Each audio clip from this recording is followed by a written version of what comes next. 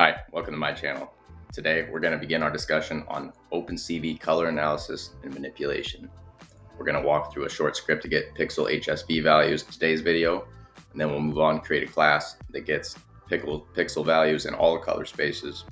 And then we're going to move into color detection because if you've been with us long enough, seen our search and rescue drone, we're ready to add color detection so we can have really advanced capabilities. In order to do that, we're to start from the ground, work our way up. So let's start today by getting some pixel values. Now, if you look here, we have the repo on GitHub. Go ahead and pull it from there, and you can have early access to the pixel converter class we'll discuss in the next video. Today, we're going to look at this one, get pixel HSV value.py. This is a pixel capture script. We have an on mouse function that is going to get our events from our left mouse button. And then we have a simple little script which opens a capture object from our camera, streams video from our webcam, and receives that event from our left clicks wherever we click on that output window of our video stream. Now, before we get into this, let's go ahead and get an understanding of color spaces and in particular HSV. Got a nice little PowerPoint prepared. So let's open it up. Let's go in presenter. Well, we're gonna go way past all this because we don't want to see that. We're going to start with the HSL and HSV color models. So HSL and HSV, uh, we're going to stick with HSV.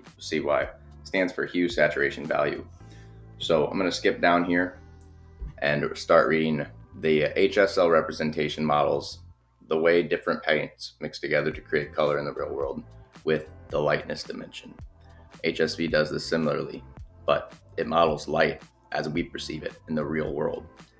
Now, if you'd like to read this in depth, go ahead, but go ahead and look at this little picture down here.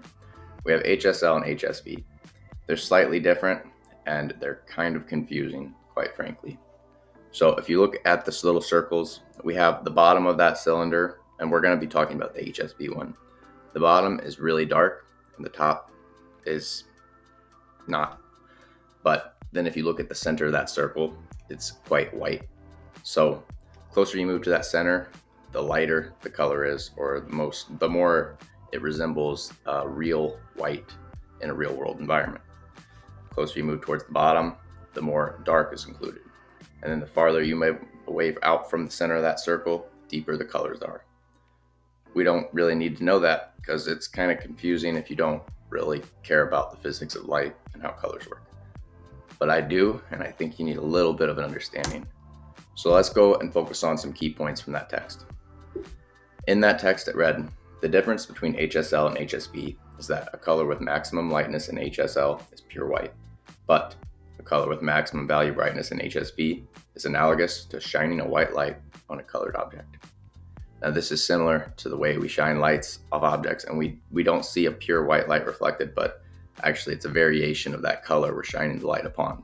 They have a little example here. I'll just say, if you go to the store, shine a light on an apple or something, you're going to see some red reflecting off that.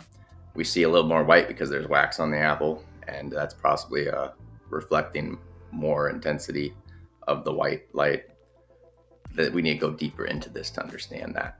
So let's just point out this last thing. So in the HSL color model, the most bright or the maximum brightness pixel value is equivalent to pure white. In HSV, the max brightness pixel value is equivalent to the white light that was reflected off objects in our real world. Now, here's some a little bit on the physics. Now, if you see here, we have light coming from the sun as light waves, which are actually consistent of all colors on the visible spectrum. So, pure white light is in reality all of the colors in a wave. Yeah. So, if you see this water here, when the light rays hit the water, color we see is blue, it's not white, because in fact, the, the band of the frequency in which is reflected is actually the frequency for blue light.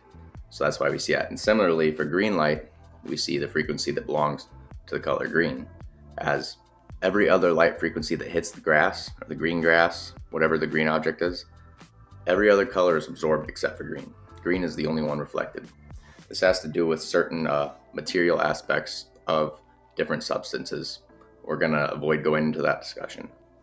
But to understand the way that our vision works really helps us to understand how we can incorporate it with computer vision because they don't have eyeballs. and uh, ours are pretty cool because they're, they're able to process all of this light as colors in the way that we see it. Now, I'll read this, this little bit here just to kind of summarize. When light interacts with colored objects, the objects typically, typically absorb certain wavelengths of light and reflect others. This is all relates to a physics phenomenon such as absorption, reflection, uh, refraction, and um, the opposite absorption is uh, dispersion. So, like a rainbow, dispersion of light. So, the color we perceive is the result of the wavelengths that are reflected. That's some cool physics. I love physics. I suggest you all go look into some physics of light because it's really quite fascinating. Let's move on today, though. So, what are some advantages, disadvantages, and best use cases? Advantages are that it helps us model the way that we perceive light. So, this is helpful for computer vision and robotics. And I don't know if you've been keeping up with things. Um, current civilization trying to achieve full autonomous driving.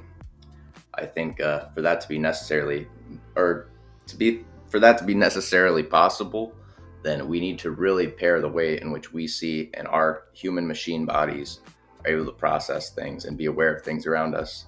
And we need to pair that with computers such that they really are able to do it in such a way that they can get the same results. But it's a different machine.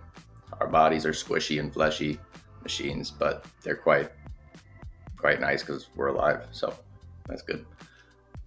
But let's move on. So that's the advantage. It's also useful for fine tuning of color information.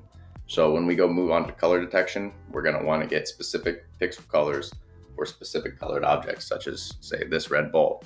You see it's reflecting white, it appears. It's actually a shade of red, as we discussed. So let's go ahead and move on to disadvantages.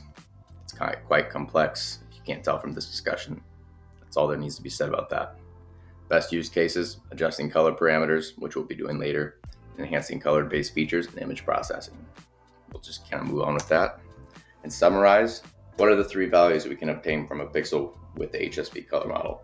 We have hue, saturation, and value, which could be visibility. Uh, that's, that's our whiteness factor.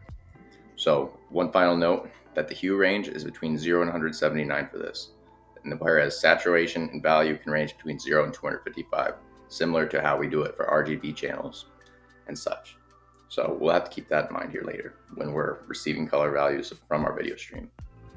And that's all I have to say about that. Here's some suggested resources, image processing, changing the color spaces, OpenCV documentation.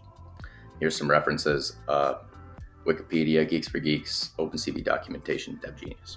Check them out if you like, they helped me. So let's go ahead and close out of this. There's the GitHub if you want to go into there we're finally ready to move into PyCharm. Let's open it up. We have the whole project here. If you want to get a leg up on the game, sneak peek at the next video, pixel converter, go ahead. Right now, we're concerned with get pixel HSV value. So you can read the top documentation header here if you want. Don't worry about it if you don't want to though. We're going to be importing OpenCV and NumPy for this. So all has to relate with image processing and changing the way that we perceive these pixels. Now we have one function here, which is pretty standard for how certain libraries handle mouse events. I do have here OpenCV's documentation, mouse as a paintbrush. It'll explain in here a little bit better on how this function is kind of the default. Check it out if you want to. I have uh, detailed comments and function explanations and such here too that explain these. So I'd like to note what it takes in. It takes in an event, and then the x and y coordinates of the pixel. And then these flags and parameter values we don't need, but they have to be included in the function because this is the, the standard form of the function, which you can find in that last reference OpenCV documentation I talked about. I will note here that the flags and param parameters are necessary because the GUI library calls the callback function provides information about mouse events. That's all you need to know. So we're going to be concerned with the event X and Y. The event is going to be coming from our left mouse button. X and Y are going to be getting from the pixel that we click on in our output window. So we pass those in and we're going to first, we're going to check if that event was our left mouse button. And this is how we do it. We call cv2.event underscore L button down. That refers to our left mouse button being clicked. After that, we're going to go ahead and create a variable, variable called pixel. We're going to set it equal to the XY position of that pixel in our frame. With that, we'll go ahead and create a variable called HSV pixel, and we'll set it equal to the cv2.cvt color method. And we're going to use this to convert that pixel from the BGR to the HSV color space so that we can get the values back and print them to our console as such. We'll print HSV dot dot colon, I'm not sure what that's called, and then uh, the list that is essentially our HSV values for that pixel. So that's our function. We're gonna next open up a capture object with our internals webcam feed by, by specifying its argument as zero. And we're gonna do a simple video stream script similar to the functions and methods we've done this with before. It's just in a lot more simplistic uh, form. So we'll start an infinite loop that reads frames from our capture object, shows them in an output window, and then we're gonna call cv2.setMouseCallback on the frame, and we're gonna put our onMouse function as that other parameter for the mouse callback. So make sure here that the first argument you're calling in the cv2.setMouseCallback is equal to what you title your frame with cv2.imshow. That'll, this is what allows for the on mouse function to know that the set mouse callback is being performed on that output window. After that, we're gonna go ahead and have a little if statement just so that we can break out of this loop and destroy the window, release the capture object, and we'll do that if the Q key is pressed. And that's all there is to it. So let's go ahead and run this script and see what happens. I've got three balls here, got red, green, and blue. So let's go ahead and hold them up in front of our camera. Let's click around on red here. That's all the red values we got. So let's do blue. We'll see they differ, and then green.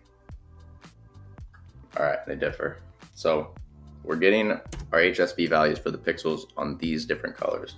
Now, why are we doing this? We're gonna be doing this so that we can detect those colors of these specific objects by creating a range of these pixels in which we've retrieved from the objects in our output window.